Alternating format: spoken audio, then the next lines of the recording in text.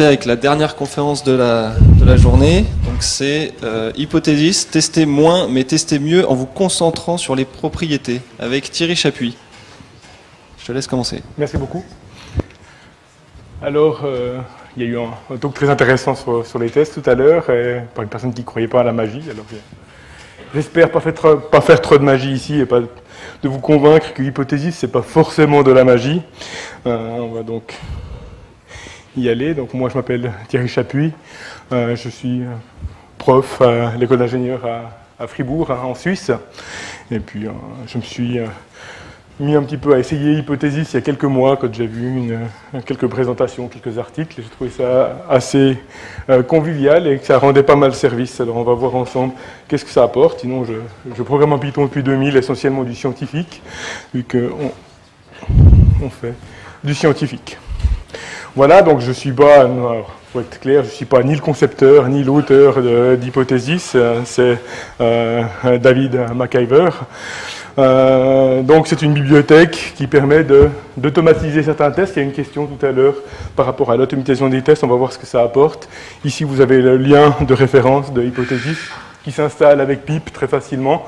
Si vous faites du Django ou euh, du NumPy, par exemple, il y a possibilité d'ajouter des extras euh, qui vous fourniront des modèles pour, euh, pour Django euh, ou pour NumPy ou pour d'autres fonctionnalités. Donc je vous, invite à consulter la doc d'hypothèse si vous avez vraiment des choses un petit peu exotiques à, faire. Moi je fais du NumPy, je ne fais pas du tout de Django, mais si vous, il y a des Djangoistes dans la Django Note, dans le dans l'assistance, n'hésitez pas à voir un petit peu qu'est-ce que ça ajoute ou qu'est-ce que ça ajoute pas. Voilà. Donc, j'ai pris certains exemples qui sont adaptés de différents endroits. Euh, mes sources d'inspiration sont bon, la doc d'Hypothesis, bien sûr, et puis euh, en talk de, euh, de, de, Clinton Roy à, Piccolo. Donc c'est essentiellement sur leur travail que j'en base et je leur donne crédit ici. Voilà. Donc qu'est-ce qu'on va voir? On va d'abord bah, voir en test unitaire tradition.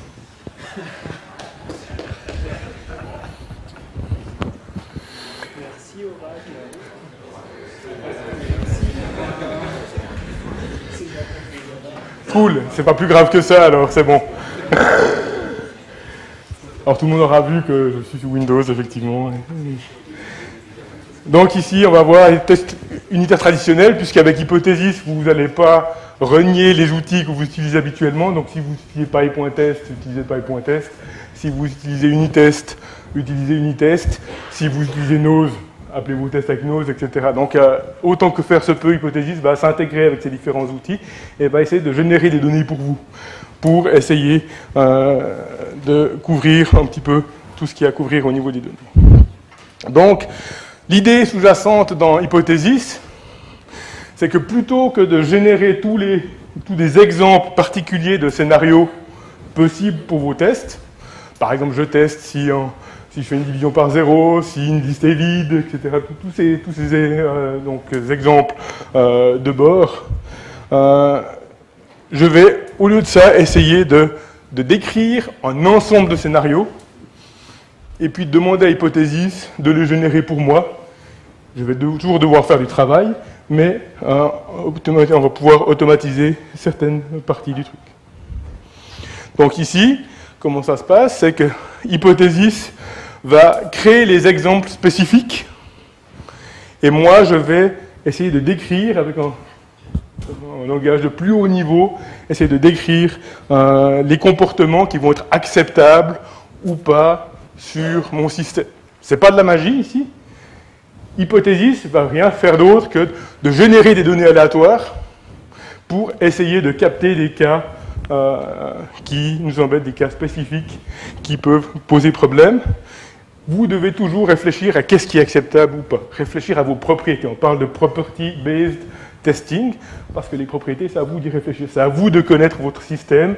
C'est à vous de définir ça, je peux me le permettre, ça, je ne peux pas. C'est à vous de définir vos asserts, etc. Donc je prends un exemple tout bête, ici, le calcul d'une moyenne. Si vous voyez le bug du premier coup d'œil, c'est parfait. Donc ici, je prends, j'ai une fonction moyenne qui prend une liste en entrée. Je vais sommer les éléments de la liste qui contient des entiers. Et ensuite, je divise le total par la longueur de la liste. Évidemment, si cette liste est vide, ça va poser problème. Sous, euh, sous Python 2.7, euh, également, la division peut éventuellement poser problème. Et en fait, il y a aussi des histoires de, floating point qui vont aussi poser problème. Donc, plusieurs choses. Traditionnellement, je vais utiliser ici pytest, par exemple, pour tester cette fonction. Donc, je vais tester cette moyenne avec une fonction test moyenne. Ici, qu'est-ce que je fais? Je prends un cas parmi d'autres j'ai juste pris une liste avec euh, quatre, entiers dedans, j'en calcule la moyenne et je regarde si la moyenne est effectivement 2.5, elle n'est pas sous Python 2.7, elle l'est sous Python 3.5. Ça, Python 3.5, mon test y passe, euh, c'est bon. Mais j'ai généré en cas qui ne pose pas de problème. Ici, 1, 2, 3, 4. OK? Donc, j'ai ici pas je n'ai pas passé une liste vide, je n'ai pas non plus passé une liste qui contiendrait beaucoup d'entiers. Je n'ai pas non plus également passé des listes qui contiennent des très grands entiers. À, voir si ça pose problème et Hypothesis va nous aider dans ce cas de figure-là. Alors comment est-ce que maintenant Hypothesis va pouvoir nous aider? D'abord, on vérifie avec Pytest que euh, ce test passe. Donc ce test en particulier passe. Pytest n'a pas pour l'instant pu voir qu'il y avait un problème de mon code puisque je n'ai pas moi-même euh, généré le test qui allait tester la liste vide. Donc ça passe. Ok, donc maintenant, la démarche, ça va être de décrire certaines propriétés, on va voir, et ensuite on va laisser hypothésis sur la base de propriétés, générer des données aléatoires, et ensuite, avec ces données aléatoires, hypothésis va tester notre fonction. Et là, on va appeler pytest pour lancer les tests. Vraiment, hypothésis va en arrière-plan, juste s'intégrer derrière pytest et puis euh, c'est Pythest qui va lancer nos tests et nous dire à la fin s'il y a un problème. Alors concrètement, comment ça va se passer? On va importer depuis Hypothesis, ici en décorateur given, qui va nous permettre de définir des stratégies. Ok? Ici, on veut générer une liste d'entiers. Ok? Donc, Hypothesis va savoir comment euh, on va connaître a priori quelles vont être les problématiques pour une liste, éventuellement quelles sont les problématiques pour un entier, pour des grands entiers, et puis va nous aider à générer ces stratégies. Donc pour générer ces stratégies, on utilise le décorateur given et on lui passe des euh, donc integers et list par exemple qui sont définis euh, dans le package hydro, euh, hypothesis strategies. Et à partir de maintenant, on va, ce, décorateur va faire que Hypothesis va pouvoir générer des listes, des listes vides, des listes avec un ou deux composants, avec un ou deux entiers, des listes courtes mais avec des gros entiers, des listes plus longues avec euh, des entiers un petit peu aléatoires, etc. Donc vraiment, et Hypothesis, c'est générer déjà les euh, cas spéciaux pour les différents éléments listes et entier, mais aussi pour les floating points, pour les dictionnaires, pour tout ça. Donc on a beaucoup de, stratégies à disposition. Et ensuite, je teste ma moyenne. Ici, je vais tester une propriété. Je l'ai choisie au hasard, on, en reviendra après. Mais je teste que ma moyenne est comprise entre le minimum de la liste et le maximum de la liste, ce qui normalement devrait être vrai. OK? C'est un choix, on verra qu'il n'est pas forcément le plus judicieux, mais je, peux tester une, propriété. Hypothesis, je dirais, se fout quelque part de la propriété que je vais tester. Lui, il va générer les données pour nous, il va essayer de couvrir un maximum de cas particuliers, et moi, je vais essayer de, euh, de définir la propriété ici, donc, assert, min liste entier, est plus petit que moyenne, est plus petit que max, liste entière. Ça, c'est mon boulot à moi. Pas de magie à ce niveau-là. Voilà, évidemment, je, je, lance le test. Et qu'est-ce qu'on va voir? C'est que, ben, bien sûr, le, le test euh, crash ici. L'information qu'on peut voir, c'est que Hypothesis est pas né de la dernière pluie. Il a tout de suite vu qu'il allait avoir un problème avec une liste vide, il a passé une liste vide, il me retourne ici l'élément qui pose problème, donc ce qu'il appelle le falsifying example. Et au premier exemple, il s'arrête. Donc j'ai ici un cas particulier que je n'ai pas a priori généré, auquel j'aurais certainement pensé, parce que le cas est simple, mais si le cas est plus compliqué, j'y pense pas toujours. Donc ça c'est déjà une bonne chose.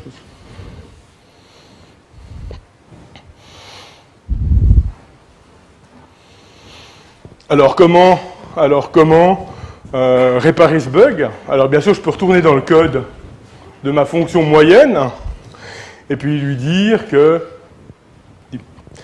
lui dire que je ne veux pas ici que, par exemple, la liste soit vide, ou alors prendre une action possible au niveau de la liste. il se peut que dans certains cas, j'ai des bonnes raisons de ne pas vouloir une liste vide, ou alors que cette fonction ne va jamais recevoir une liste vide.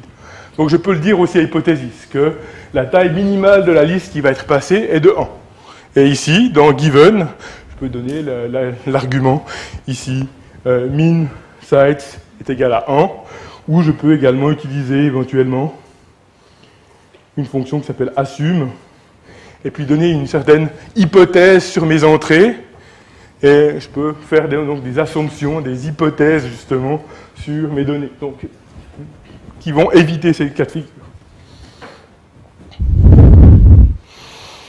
Donc ici, j'ai corrigé le bug. Il se trouve que euh,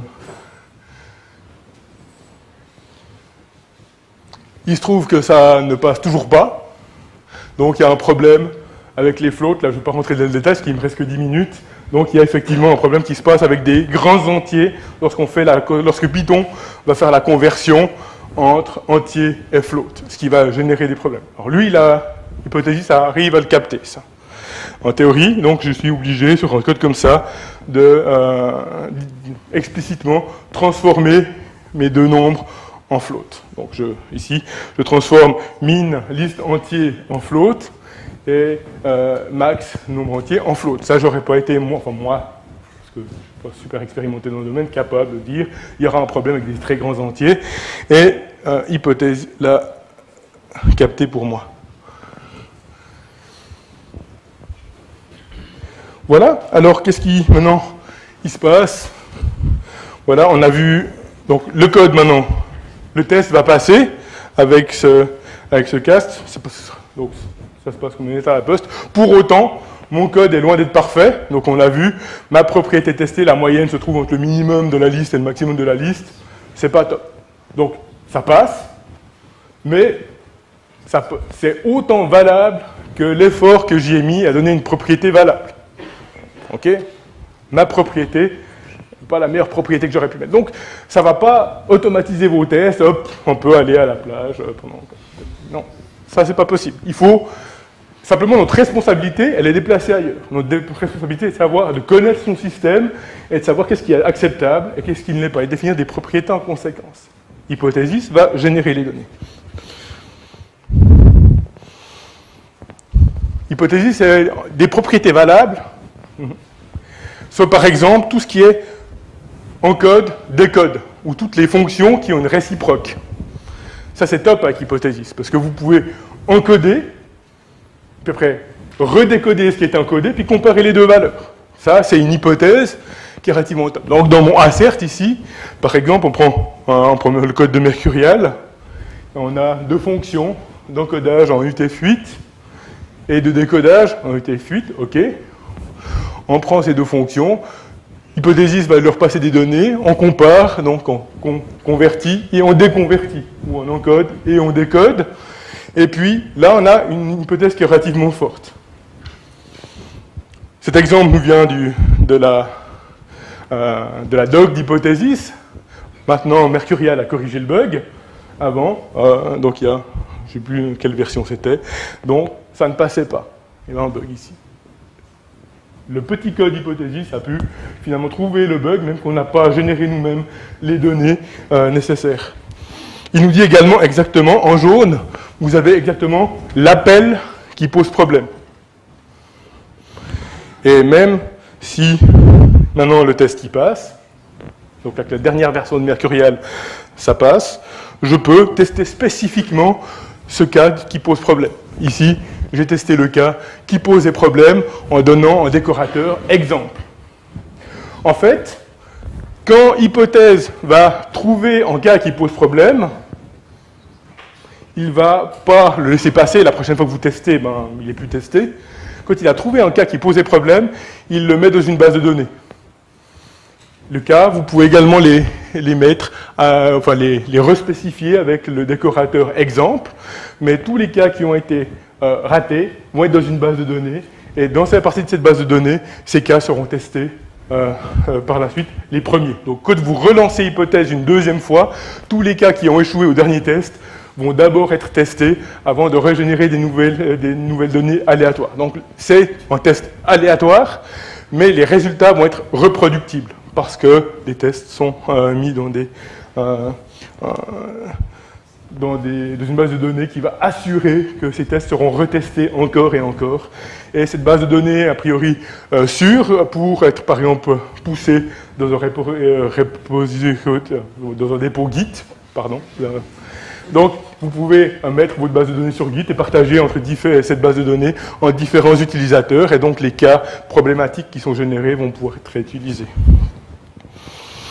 Voilà, je veux encore terminer par une autre stratégie.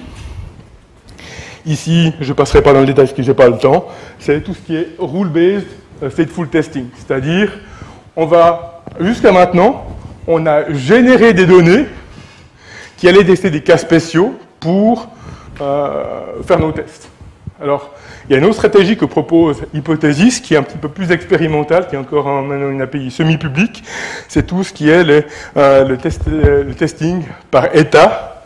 Par exemple, pour tester une structure de données ou pour n'importe quelle structure de données mutable, vous avez, vous avez des états, vous avez possibilité de ne pas générer des données, mais vous pouvez générer une séquence d'appels qui va vous générez un programme aléatoire qui va faire foirer votre programme.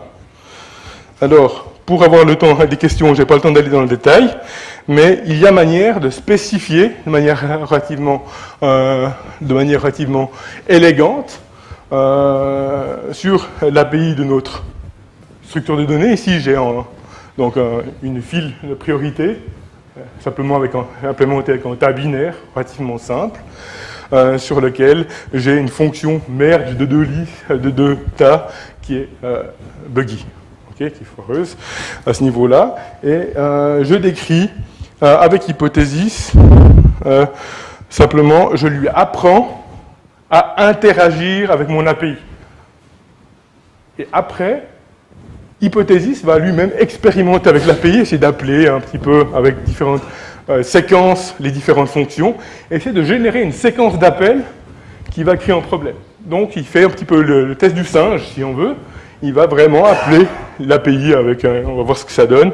Lorsque je tourne le test, ici, j'ai un test problématique et on voit toute la séquence d'appels qui a posé problème. Ici, il va un appel. D'abord, il a initié le tas. Ensuite, il a, il a essayé de merger bon, euh, une liste euh, d'états vides, ensuite il a poussé des valeurs, etc. J'ai toute la séquence d'appels qui a posé problème. Il a fait un programme jusqu'à ce que mon assert se casse la figure. OK Et c'est une, une, façon encore différente de voir les choses. On n'est plus en train de générer des données aléatoires, on a des données, mais on est en train de générer une séquence d'appels pour voir si le programme va résister ou pas. Ça, c'est ce qu'on entend derrière le rule-based, parce qu'ici, on va définir une certaine quantité de, règles, et puis je vais en rester là, puisque euh, je pense que le temps arrive au bout et qu'on serait bien qu'on puisse échanger quelques questions.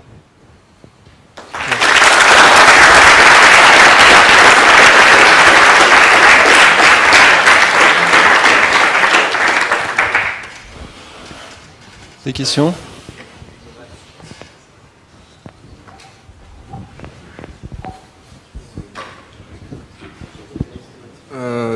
Dans un des exemples, on a vu l'utilisation de listes où on spécifiait sa, taille minimum.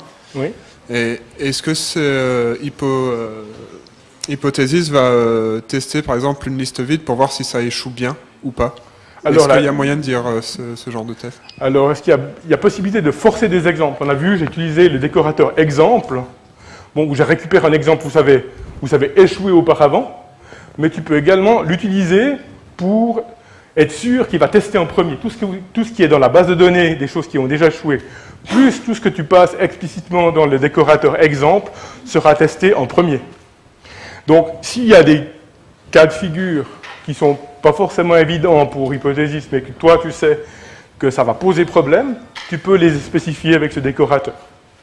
Et puis ces cas-là seront testés en premier, par exemple. Donc la liste vide, si tu es euh, hyper nerveux, on dit, oh, ça, il va le tester de toute manière. La liste vide, ça sort euh, très rapidement. Mais si tu veux vraiment être sûr qu'il la teste, tu le passes dans un décorateur exemple et tu mets ça juste dessous given ou dessus given. Et c'est bon.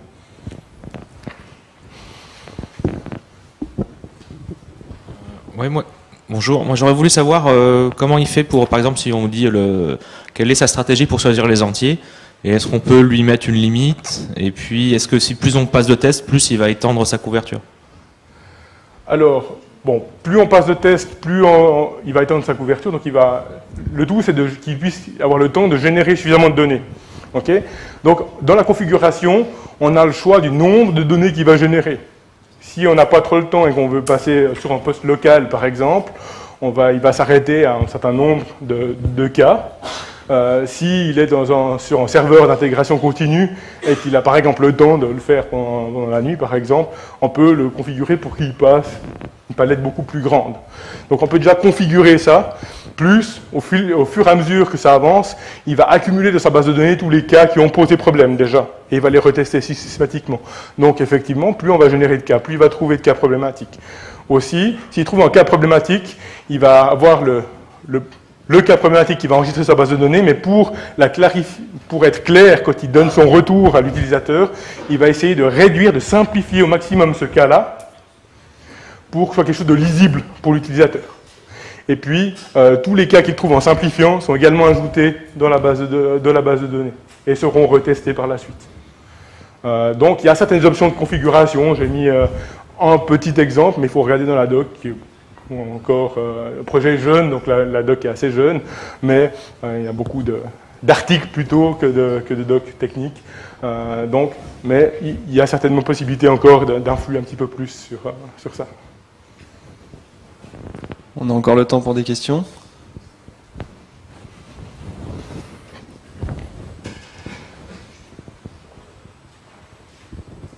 Euh, au niveau de l'intégration donc avec les lanceurs, là j'ai entendu parler de PyTest.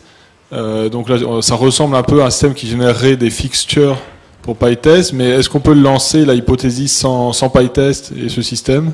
Alors, hypothèse n'est pas en framework comme euh, PyTest par exemple, qui posséderait le lanceur. Lui, ce qu'il va faire, c'est d'essayer d'être le plus transparent possible pour les lanceurs.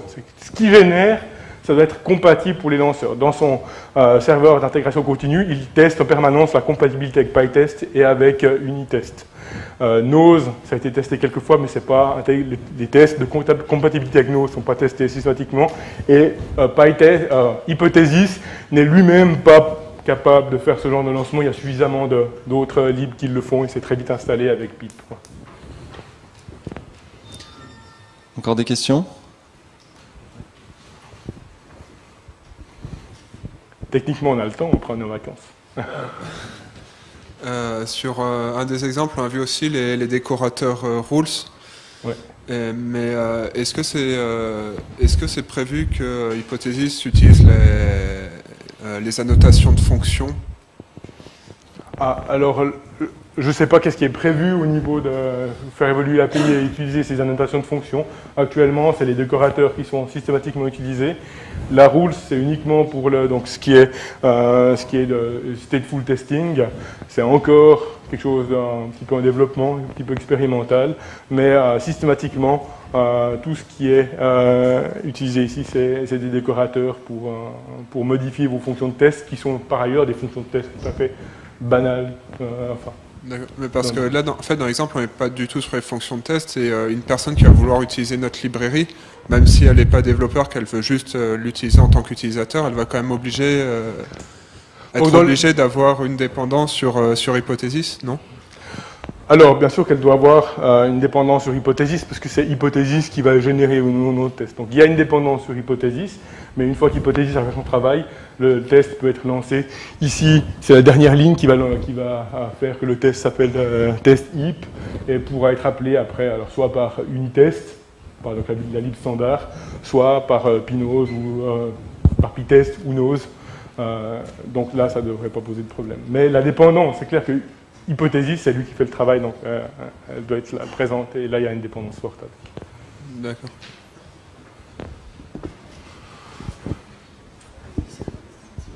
D'autres questions? Non? Eh bien encore merci.